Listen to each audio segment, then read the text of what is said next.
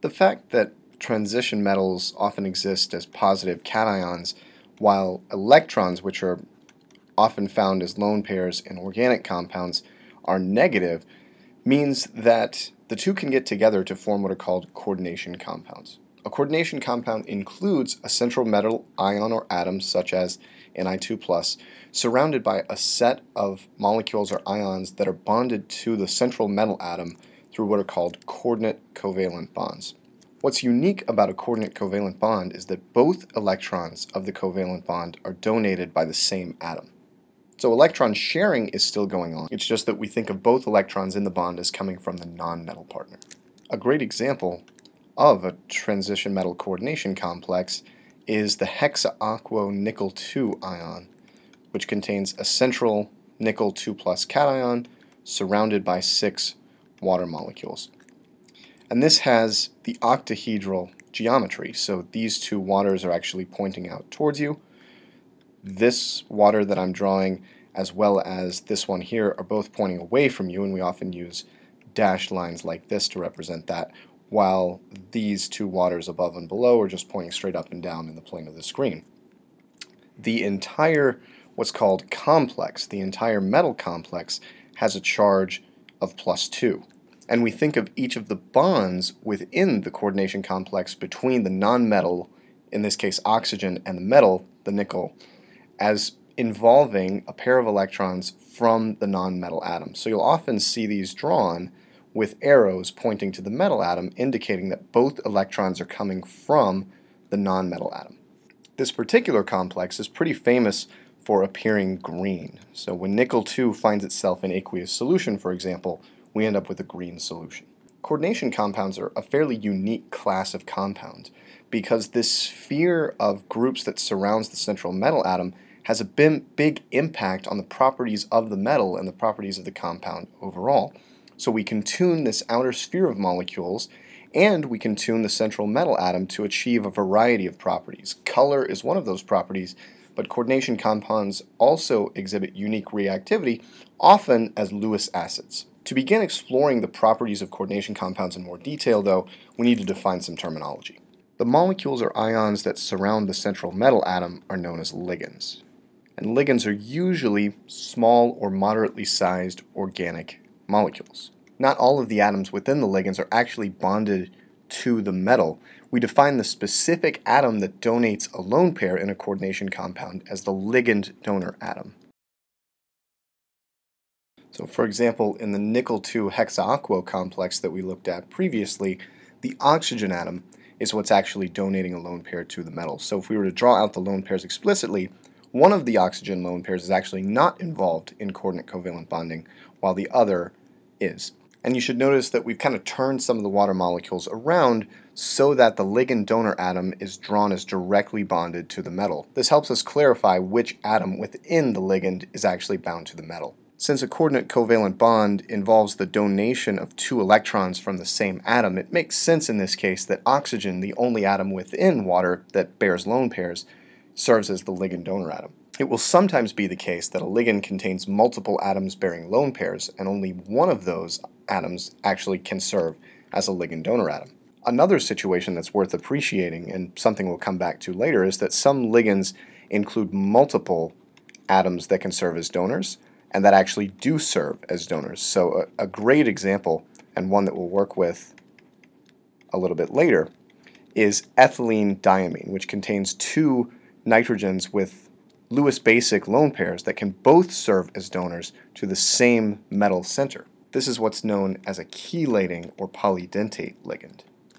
The concept of a coordinate covalent bond and the idea of a Lewis acid base reaction or interaction go hand in hand. So it's worth appreciating that the formation of a coordination compound is a Lewis acid-base process in which a Lewis acidic metal cation combines with a Lewis basic ligand, which may be neutral or negative, but which must bear a lone pair or a pair of electrons that can be donated more generally, to form a coordinate covalent bond in which the new bond is composed of two electrons from the Lewis base, in this case L, and those are donated to the Lewis acid, in this case M, and the overall charge remains at plus 1 in this case, since the ligand was neutral. So we can see that the Lewis base has donated a pair of electrons to the Lewis acid to form the resulting complex. The Lewis acid will always be accompanied by some counterion. Usually it's something that's not very basic, something like chloride or sulfate, something fairly innocuous. In that case, X minus comes along for the ride and is considered part of the coordination compound, but we put the complex in brackets to distinguish between the ligands that are actually covalently bonded, coordinately covalently bonded to the metal, and the counter ions which just balance the charge on the complex. Another way to state this same point is that many coordination compounds are salts. This means that the complex part, the part containing the metal ion and the ligands that are coordinately covalently bonded to it, has a charge. That charge is counterbalanced by the counter ions. But very often those counter ions, at least theoretically, have lone pairs, right? If we think about sulfate, for example, sulfate has tons of lone pairs within its Lewis structure that could, in theory, be used to form co coordinate covalent bonds with a metal center, right?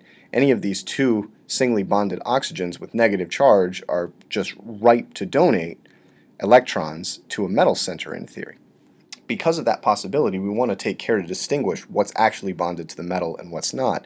And that's why we use brackets to do this. So square brackets enclose everything, including the metal center and the ligands that are actually coordinately covalently bonded to it. Another important point here is that the sulfate ion in this case is not a ligand, it's a counter ion. It just balances the charge of the complex and engages in an ionic bond with the entire nickel H2O6 2 plus cation. As we've talked about in many different contexts before, here, as always, it's important to be able to look at the formula and be able to separate this into its component ions, SO4 2 minus, and in this case, the newcomer, nickel H2O6 2 plus. Because ligands are often neutral and metals are often positive, we do often see that the coordination complex itself is positive, but this is by no means required.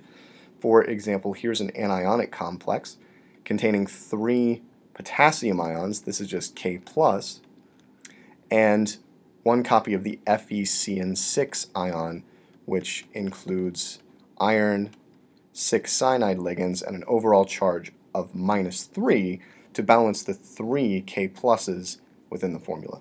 Ultimately, we can unpack this hexacyano ion even further to notice that since CN minus is itself negatively charged, six of them amount to negative six charge overall, and the iron cation here has the oxidation state of plus 3 or Fe3+. plus.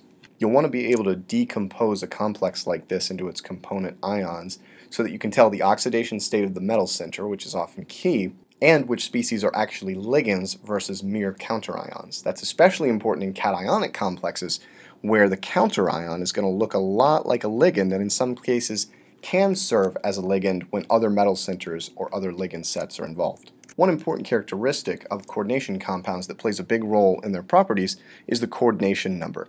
And we want to define the coordination number very specifically it's not necessarily just the number of ligands around the metal center because a single ligand may have multiple binding points. We define the coordination number very specifically as the number of ligand donor atoms in the metal complex. So for example, the complex silver NH3 with a plus 1 charge has two ammonia ligands bonded to a central silver cation for a coordination number of 2. Nickel CN4, 2 minus, has a coordination number of 4 since 4 cyano-ligands surround the central nickel cation. The hexaaquo cations, such as the chromium version, with 6 waters surrounding the central metal atom, in this case having a charge of 2 plus overall, has a coordination number of 6 as evidenced by the 6 waters within the formula for the complex. Looking at these three examples, you may believe that the number of ligands within the complex formula tells you the coordination number directly. However, that's not the case. The reason is ligands can have multiple binding points.